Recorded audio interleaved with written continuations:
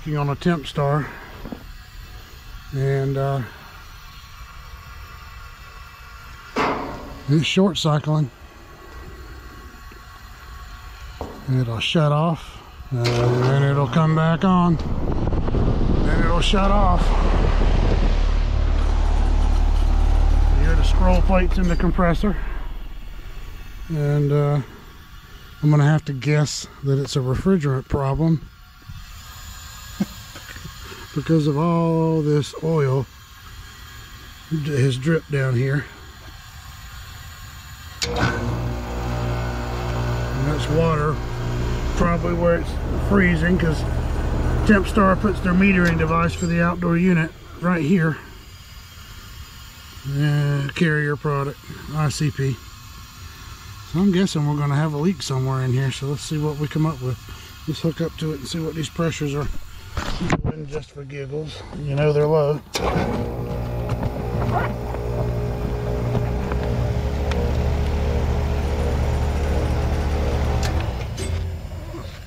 get hooked up to it. And see how low it is.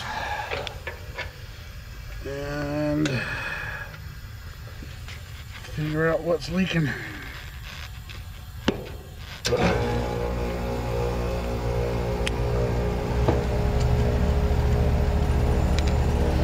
looks to me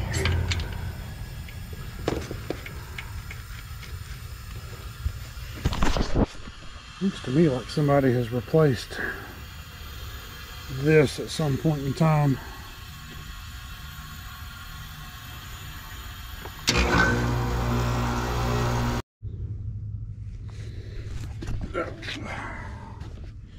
All right let me turn it back on. I had a phone call from one of my guys let's see what our pressures are doing but it looks like somebody has replaced somebody's replaced this valve.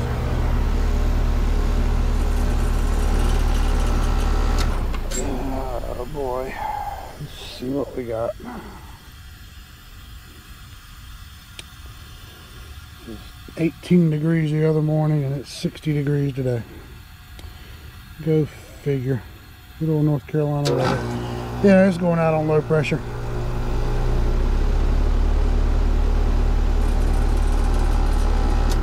Yep. So let me go grab a couple of things and we're gonna uh, go in here and see if we can figure out where this leak is. Okay, let's see what we can come up with. So, like I said, that's a new fitting. You can see the discoloration in the older ones. Somebody has replaced this one at some point in time appears that it may if it's the fitting I might be able to tighten it a little bit.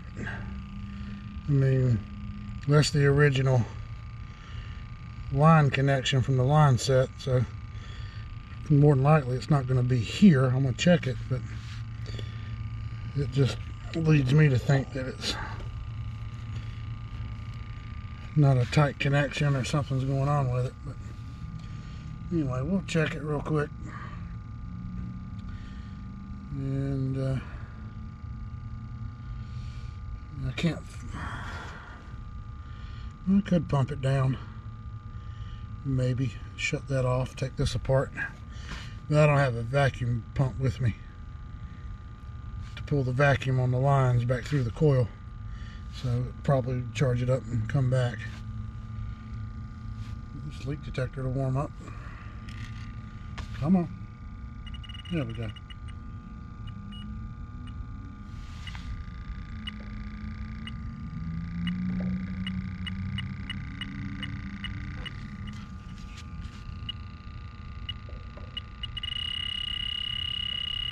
Yeah. Whoever put that in didn't didn't tighten that thing.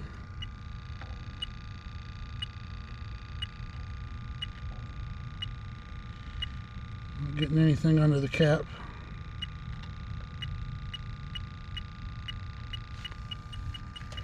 Make sure there's an O-ring inside this cap. And there is.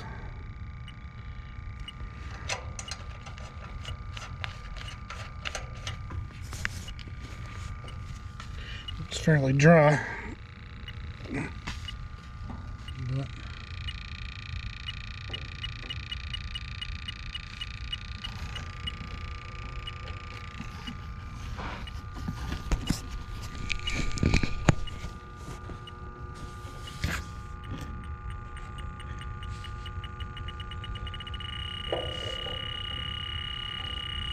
And uh, so I don't know if it's leaking enough to show any soap bubbles.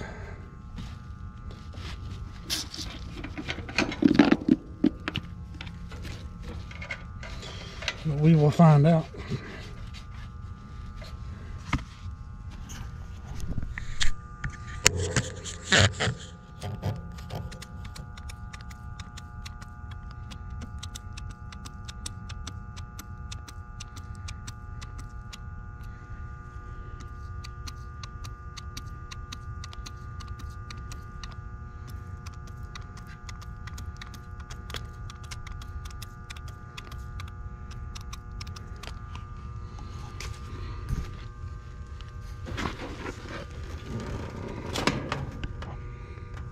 I, know that's where the leak is.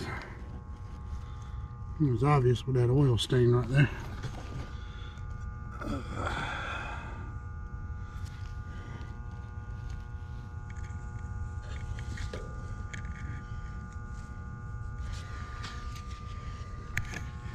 So I don't know how well you can see that mirror right down in that bottom edge of that nut.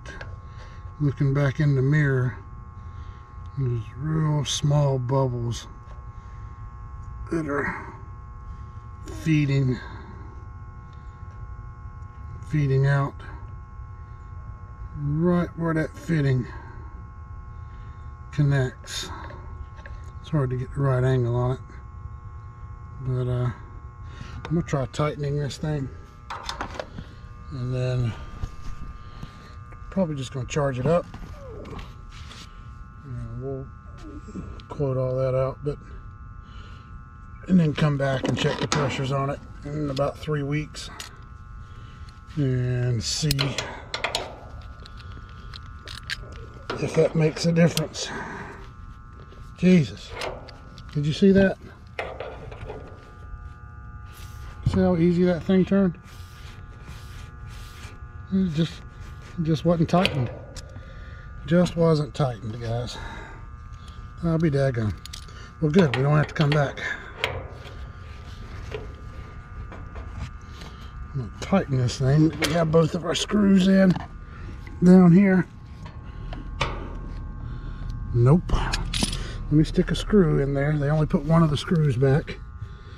So if I go try to tighten that too much, this whole thing is going to start to turn. So let me get a screw in there. Oh gosh, guys, the stuff you find, the stuff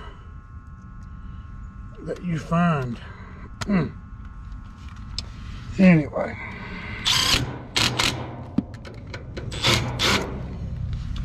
All right. Now, let me see if I can get a good Good turn on it. Yeah, guys, this thing's loose as all get out.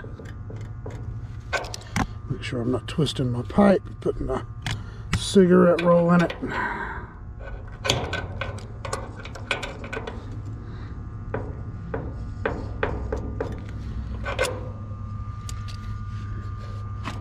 Just doing a little bit at a time because I don't want this pipe to start to twist. And then I got a kink in the pipe.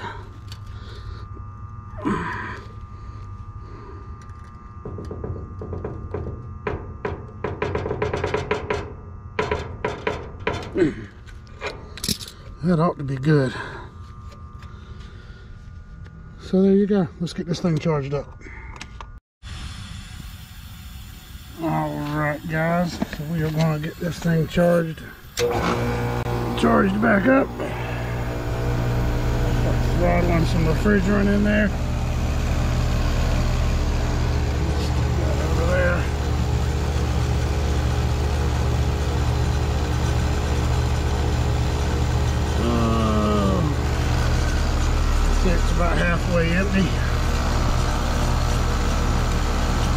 That's just an example, guys. When you do something, you got to be thorough and you got to check your work. That's got to be tight. That thing, I turned it three times. So whoever it was that replaced that, just didn't didn't check it. I, I mean, I don't know. I would think there would have been a pressure test and a vacuum pulled. I don't know. Uh, maybe he thought it was tight and the vibration of the unit caused it to back off a little bit. I don't know.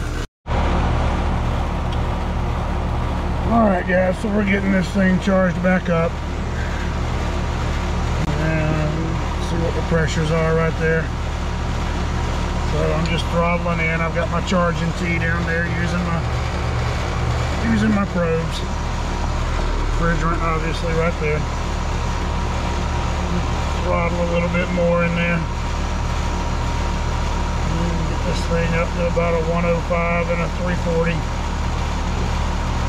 But yeah, I don't know why.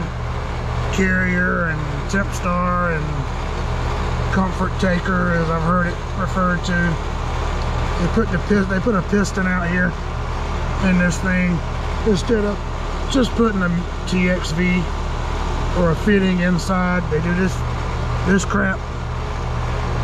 I mean that's a that's carrier 101 right there but when you replace one of these you got to tighten it back or it's gonna leak so anyway guys